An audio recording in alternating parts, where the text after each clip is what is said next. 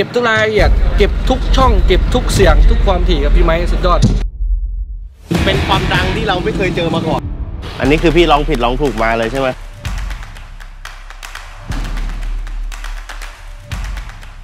เสียงกลางกับการกระจายข้าง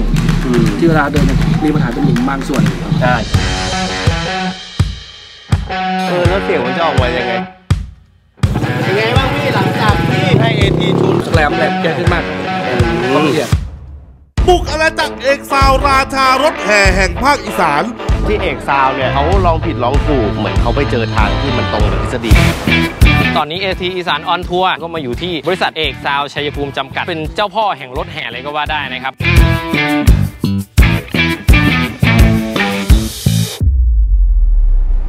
ษัทนี้ทำเกี่ยวกับรถแห่มานับร้อยร้อยคันแล้วแล้วก็วันนี้เราได้รับเกียรติจากเอกซาวจะมาพูดคุยในเรื่องระบบเสียงกัน ผมจะพาไปดูกันก่อนว่าวันนี้ AT จะมาทำอะไร ตามมาอะดูฝั่งนี้จะเป็นรถกำลังทำการขึ้นโครงสร้างนะครับเขาทำเองหมดที่นี่นะ ต้องบอกนะครับว่าบริษัทเอกซาวเขาประกอบ power amp เองโซนด้านหลังจัดการเรื่องตู้ลำโพงฝั่งนู้นพ่นสีแล้ว เดี๋ยวเราไปดูรถแห่อีกคันหนึ่งที่ AT จะทำการจูนวันนี้ครับไป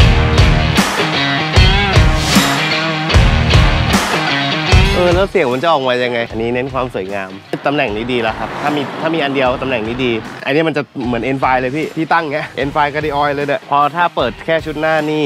แล้วถ้าพี่ดีเลย์อันนี้ถอยหลังไปเท่ากับไอ้ข้างหลังจะสะอาดอืมแต่นี่ดีครับ ข้างล่างไม่ปูพื้นอะไรเนี่ยดีมากเลยมันทำให้ไม่เกิดฮอน อันนี้คือพี่ลองผิดลองถูกมาเลยใช่ไหมแต่พี่ลองถูกนะ พี่พี่มาถูกทางหลายอย่างนะ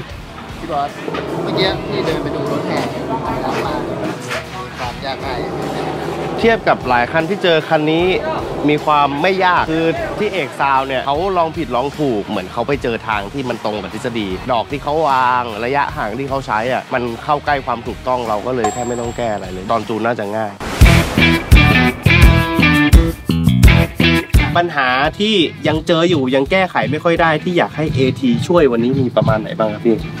ก็เสียงกลางกับการกระจายข้าง ที่เวลาเดินเนี่ยมีปัญหาเป็นหลุมบางส่วนอ่ายังมีเป็นหลุมบางส่วนเวลเดินซึ่งเมื่อเช้าผมก็ได้ปีนรถแห่ได้ดูกับพี่เอกและมีวิธีที่จะแก้ได้บ้าง แล้วก็อย่างของพี่เอกเนี่ยผมบอกเลยว่าพี่เอกมีแนวทางที่ดีมาแล้วเหมือนลองผิดลองถูกจนมาเจอใกล้ใกล้แบบร้อยเปอร์เซ็นต์แล้วอ่าวันนี้เราแก้นิดเดียวมาก แล้วก็อีกจุดหนึ่งที่ผมประทับใจพี่เอกก็คือว่าการที่ยอมใช้ processor เยอะแล้วก็เดินแยกหลาย channel ตอนแรกพี่เอกบอกเอ้ยเดี๋ยวปวดหัวแน่นอนในที แต่ผมบอกได้เลยพี่ทำอย่างเงี้ยก็คือการแยก cluster แยกไว้เนี่ยทำให้ผมปวดหัวน้อยลง เพราะว่าถ้ามันไม่แยกมันทำอะไรไม่ได้ จะ delay จะ EQ แยกอะไรก็ไม่ได้ เพราะว่าการกวนกันของอ่าลำโพงเนี่ยบางครั้งเนี่ยมันจะต้องมีการ EQ หรือแม้กระทั่งตัด cross แยกให้แยกกันทำงาน เพื่อควบคุมเรื่องมุมกระจายเสียงวันนี้ที่จะแก้จะมีเรื่องของ high ที่ย้ายตำแหน่งไปนิดนึงนะครับปิดองศาเพิ่ม แล้วก็เรื่องของการ delay เสียงกลางนะครับเดี๋ยวแล้วก็ดูเรื่อง delay sub ให้เพิ่มนะครับแล้วก็ตัด cross mid low ประมาณ4อย่าง เอกซาวด์นี่สถานที่จูนนี่ถือว่าอยากอยู่นานนี่ๆ จูนได้ทั้งวันเลยเตรียมพร้อมยังพี่เรียบร้อย นี่คือชุดจูนของเรามีอะไรบ้างเนี่ยพี่ จะมีอินเตอร์ฟุกสำหรับดูในส่วนของ Smaart วัด Smaart ตัวนี้เป็นตัว playback สำหรับเปิดเองครับผมแล้วจะมีอีกตัวหนึ่งเป็นตัว control ตัว processor ที่อยู่บนรถก็สะดวกทำให้ ตรงนี้สามารถ full control ในส่วนของการจูนคันนี้ได้ทั้งหมดเลยพร้อมลุยนะพี่โดยอยู่แล้ว โอเคครับ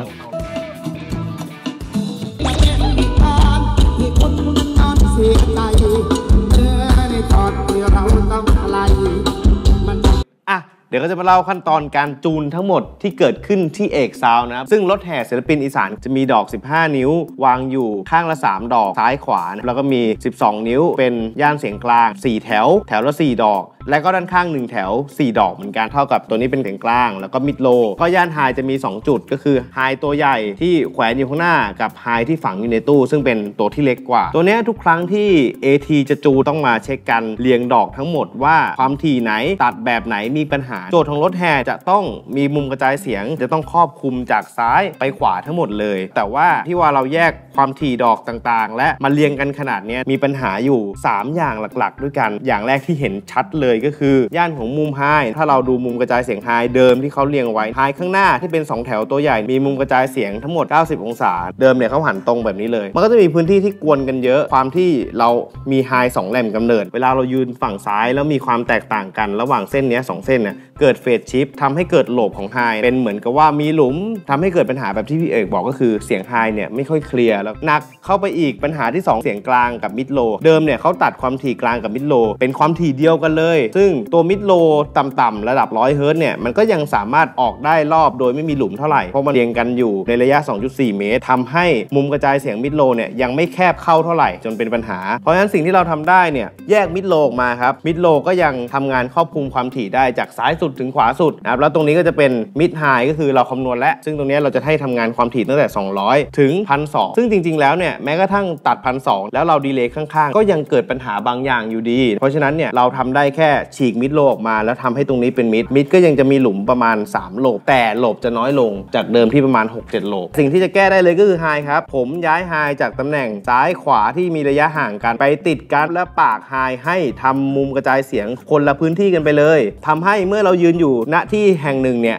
เราจะฟังเสียงปาก high ที่ stack กันแค่ cluster เดียวเท่านั้นทำให้ 2 อันนี้ไม่กวนกันเป็นหลุมเหมือนตอนแรก นี่ก็คือสิ่งหลักๆ ที่ทำไปใน high นะครับ mid ตัด cross ใหม่ให้กวนกันน้อยลง แล้วก็ทำให้มุม mid low ดีขึ้น อย่างที่ 3 ที่จะทำก็คือเรื่องของการ delay ให้ high กับกลางตรงนี้กวนกันน้อยลงนะครับนี่คือภาพรวมที่ AT ได้ทำที่เอกซาวนะครับตามที่อธิบายไปแล้วนะครับ อันนี้เป็นส่วนแรกของการจูนวันนี้ก็คือการ alignment ดอก พอเรา alignment ดอกได้ปุ๊บ เราก็ไปทำเรื่องของ time delay เพื่อเป็นการ tuning อย่างวันนี้มี high 2 ดอก high ย่านสูง กับ high ย่าน mid high เราตัดความถี่ใหม่แล้ว โดยวัดจาก frequency response เมื่อใส่ horn และรวมกันแล้ว เราก็ทำการ delay ให้ 2 อันนี้กวนกันน้อยที่สุด หรือทำงานเสริมกันมากที่สุด จากนั้นเราก็มา delay mid high delay mid low เมื่อทุกเสียงเป็นก้อนเดียวกันหมดแล้ว เราจึงเอาไมค์ไปตั้งที่มุมของหัวรถ ซึ่งเป็นมุมที่ลำโพงข้างหน้าทำงานครอบคลุมครบ และเราก็จูนลำโพงด้านข้าง เราจูนสองข้างเนี่ยใส่ค่า delay เท่ากัน โดยสรุปเราก็ delay high อันนี้delay mid เฉพาะ cluster ริมแล้วก็ mid low cluster ริม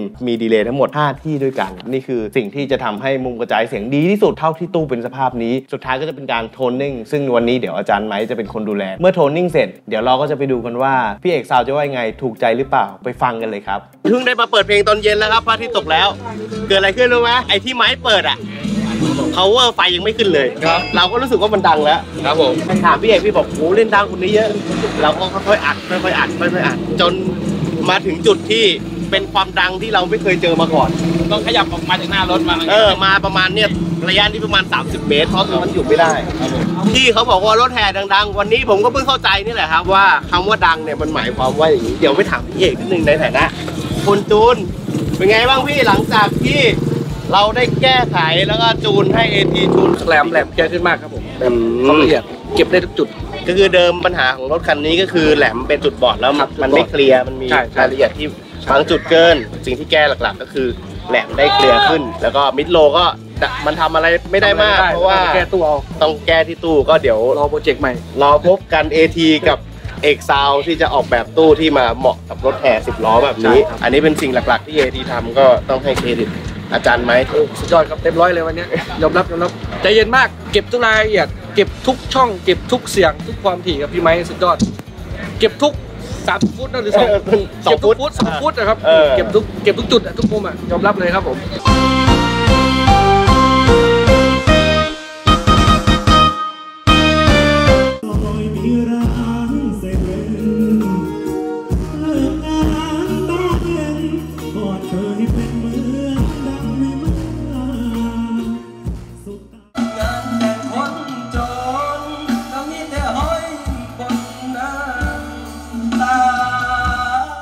ขอขอบคุณผู้สนับสนุนหลักอย่างเป็นทางการมิกเซอร์ซูม L20 มิกเซอร์ดิจิตอลในคราบอนาล็อกราคาไม่แพงจาก Fusion Far East มิกเซอร์ซูม L20R มิกเซอร์ดิจิตอลแบบ rack 20 channel พกพาสะดวกใช้งานง่ายจากฟิวชั่นฟาอีทลำโพงซาวิชั่น AP12 และลำโพงซาวิชั่น AP15 ลำโพงอเนกประสงค์ฟังก์ชันครบครันจากซาวิชั่น Emotion LV1 มิกเซอร์ดิจิตอลที่ทำงานร่วมกับ plugin Waves ได้อย่างสมบูรณ์แบบเหมือนยกสตูดิโอมาไว้ในงานดนตรีสดจาก MI Engineering Mixer Yamaha MG10XU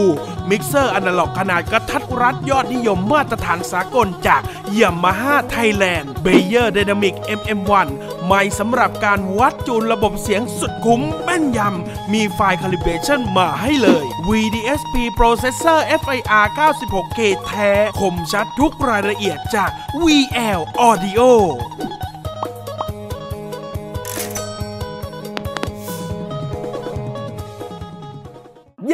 ดติดตามและตั้งค่าเห็นโพสต์ก่อน จะได้ไม่พลาดข้อมูลดีๆ กดกระดิ่งแจ้งเตือนกันด้วยนะครับ ย้อนชมคลิปเก่าได้ที่ YouTube Channel AT อย่าดูเพลินกด Subscribe กันด้วยจ้า อีกหนึ่งช่องทางรับข้อมูลข่าวสารวงการเสียงได้ที่เว็บไซต์ AT และสมัครสมาชิกวันนี้ รับส่วนลดสินค้าทันที